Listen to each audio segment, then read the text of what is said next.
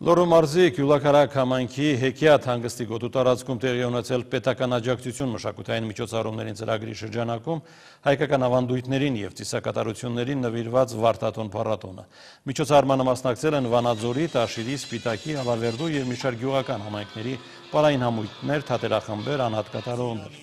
Մասնարաբար Վանաձորի Տաթև պարային խումբը ներկայացրել է ազգագրական ժողովրդական պար երկերով։ Հանդես են եկել նաև Գուսան Զաքարյանի անվան մշակույթի տան պարի խումբը, հայորդաց տան շողական մանկական երջախումբը, որովել մանկապատանեկան պարային համույթը և այլ կատարողներ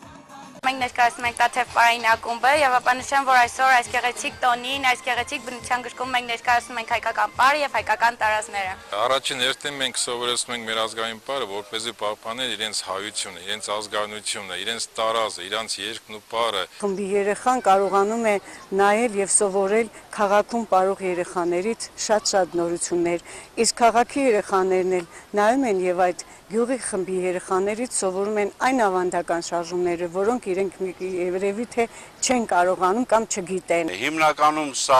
համախմբվածության խնդիրն է, մեր ավանդույթների պահպանության խնդիրն է։ Մենք ինչով ենք վերջապես մեզ հայ անվանում։ Դա